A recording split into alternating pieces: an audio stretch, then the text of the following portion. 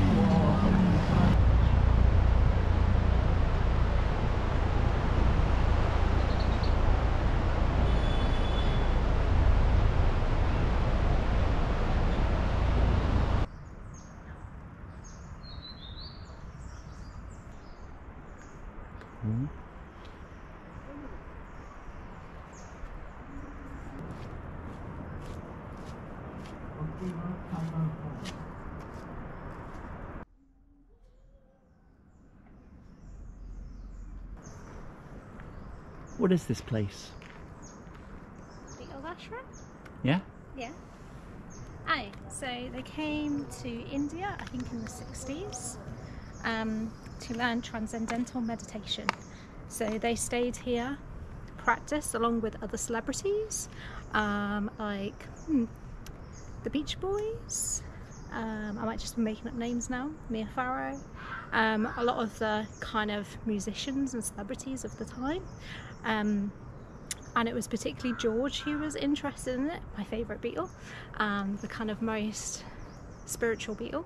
Um, and he came after they kind of met the Maharishi at Bangor in Wales, and then they came here on a retreat and they wrote some of their best music whilst they were here.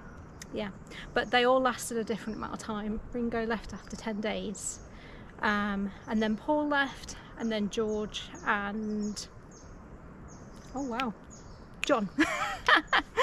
they left together, I think, after a couple of months. So yeah, really interesting place, quite run down. Um, it hasn't quite got the vibe of what it would have been in its heyday, but still a very interesting place.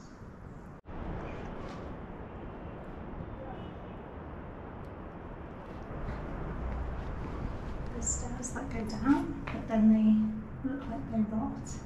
They what? They look like they start rotting. Hey. Acoustics in here. Um,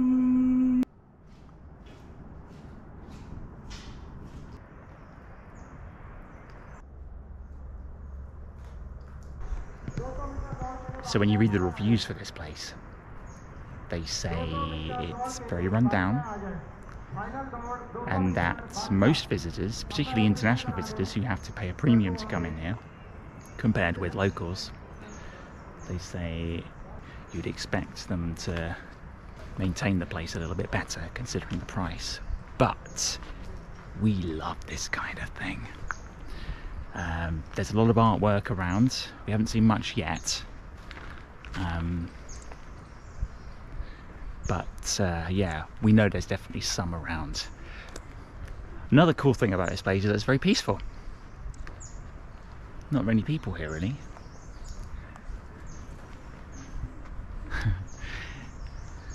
Jade is making good use of our Spotify Premium account. Uh, she's playing some Beatles songs. I shall keep a distance though, because unfortunately, if YouTube hears that music, um, we'll get demonetized.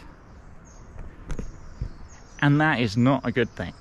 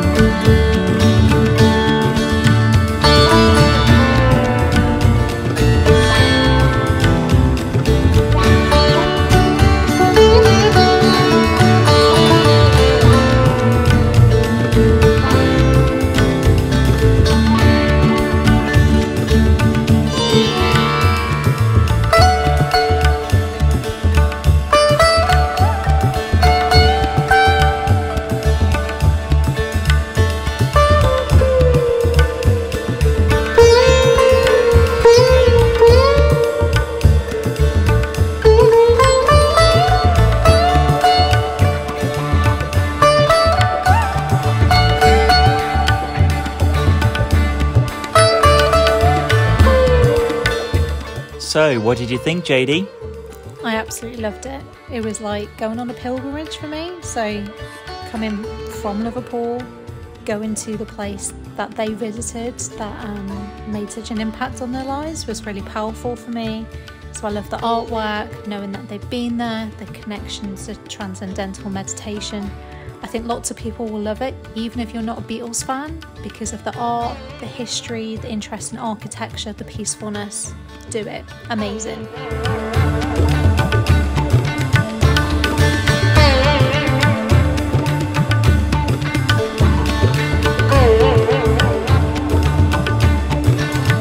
Next time, we're taking part in an incredible Hindu ritual called an Aarti at Triveni Ghat.